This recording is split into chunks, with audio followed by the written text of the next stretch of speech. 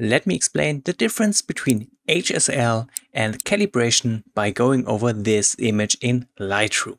Feel free to follow along by downloading the raw file from the link in the description of this video and now let's jump into it. As always, I will be showing the whole editing process for this image, so if you're just here for the tutorial part, make sure to check the chapters of the video to quickly navigate to that part.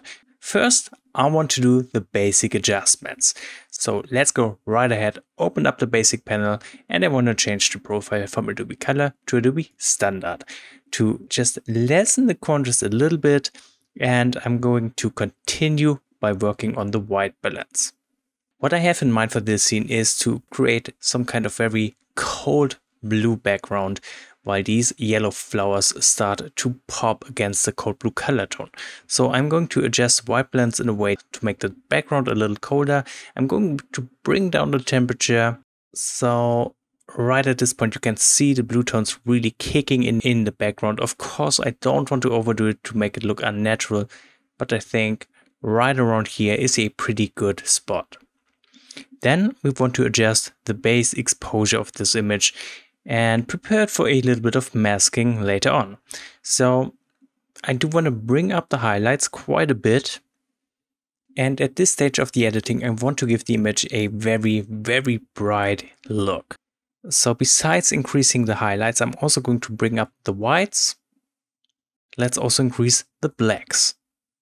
So this looks super good already. However, I just want to point out these water droplets on these flowers are overexposed at this point. You can also see that looking at histogram, we get a clipping warning. However, I don't care about overexposure in these areas because I think this actually makes the image look much, much better.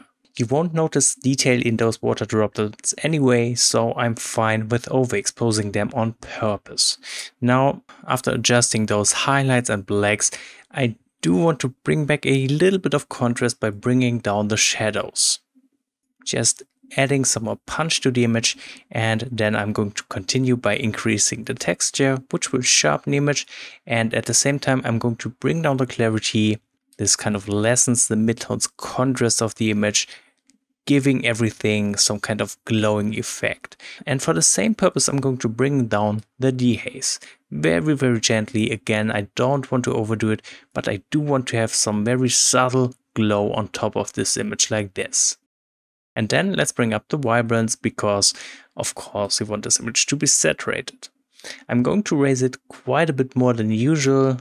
Somewhere around here looks nice to me because at this point we get a very nice green color tone in the foreground.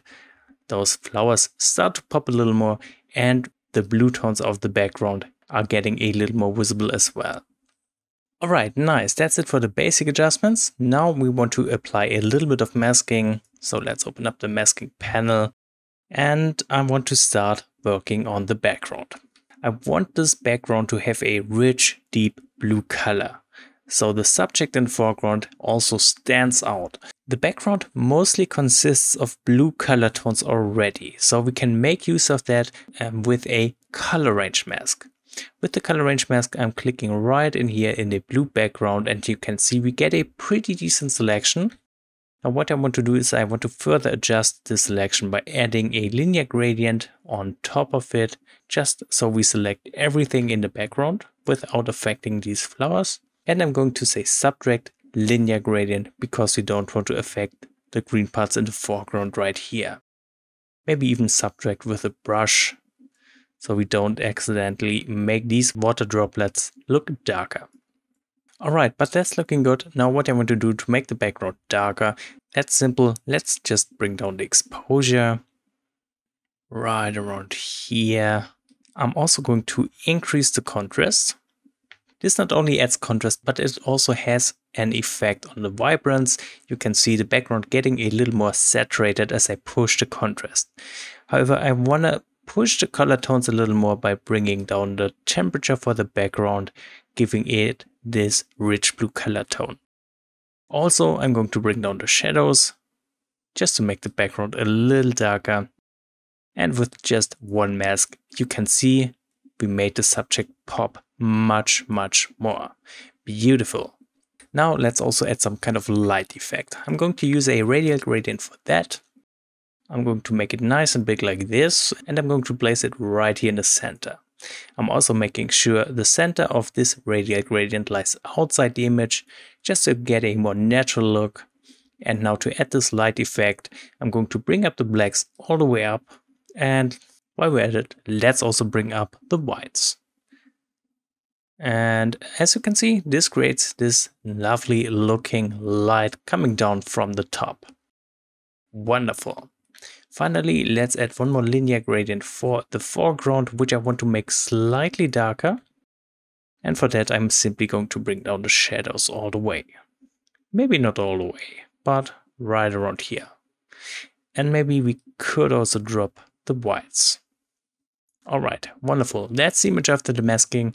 There isn't anything more going on. Just these three masks turn this image into a much better version. Now let's take a closer look on the color grading and for this shot this includes HSL and calibration adjustments. Both HSL and calibration do have their own panel in Lightroom. Usually for my workflow I start with HSL, then maybe some split toning and finally the calibration settings. However that is totally up to you and what you prefer. I know a lot of photographers actually like to start in the calibration panel. But what's the difference?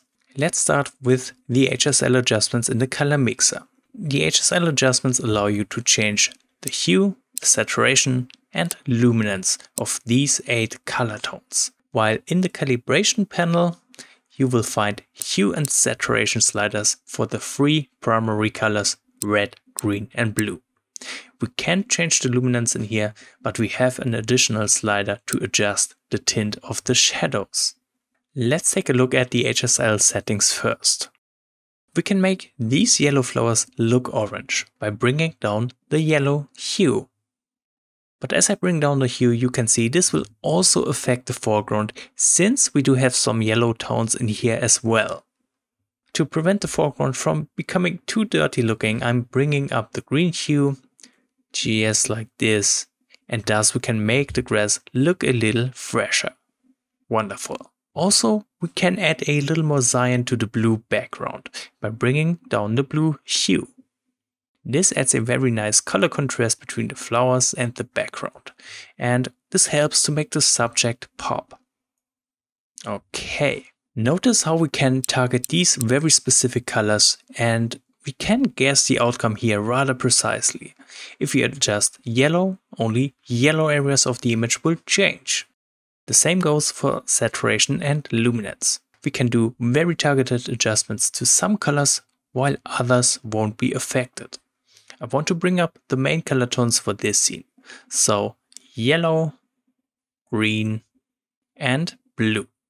And we can use luminance settings to change a color's brightness. So using the blue slider and bringing it down, we can make all blue parts of the image darker. On the other hand, if we bring up the yellow slider, we can make the flowers brighter and we can create some more contrast this way. This looks great, much better than before. If we now take a look at the calibration panel, let's go ahead and bring down the blue primary hue. What we can see is we're adding more cyan to the blue background, but the foreground consisting mostly of yellow and green tones is changing as well. Why is that? We need to keep in mind every individual pixel of an image is made up of red, green and blue parts. The way these three parts are blending together decides how this particular pixel will appear on the screen. The HSL settings will change things that appear to be blue, like for example the blue background. The calibration tool, however, will affect every pixel in the image because every single pixel is made up of RGB. By adjusting the sliders in the calibration panel, we will change how RGB blends together on a way finer level. That's also why pushing the saturation within the calibration panel looks so much better than pushing the overall saturation in the basic adjustments. But with all that being said, it's kind of hard to know beforehand what you want to adjust here since the results are so unpredictable. This is something that might come with experience, but my approach is to always start with the blue primary hue, bringing it down very gently and raising the saturation, because I just like the look of it. Then from this point on, I decide to do some further adjustments, playing around with the other sliders. Usually, I add a little more saturation to red and green, and I might play around with the hue, but in most cases, I don't need to do that. So what's the difference? Use HSL to target specific colors you want to change, like in this case, making the flowers look a little more orange, the grass greener, and the background a little darker. Calibration, on the other hand, is the perfect tool to add some creative color grading, shifting all the colors, adding saturation in a very pleasing way, or simply fixing color cast of your camera, which was the intended way to use this tool by the way. So this is looking great color-wise and we're pretty much done with the tutorial part of this video. Now what I want to do is to clean up this image a little bit in Photoshop. So let's go right click on the image, go to edit in and choose Photoshop. Right away I'm hitting Ctrl J. This will create a backup layer just in case I mess something up. And then I'm going to use the spot healing brush. Let's see where we can find it right here. And I want to get rid of a few things in the background because they are super distracting. You could use the new AI remove tool as well. However, it's causing my Photoshop to crash a lot, so I'm not going to use it in this case. And we have a very simple background, so the spot healing brush should be fine in this case. And that's the only tricky area. Again, the clone stamp tool should do a good job in here.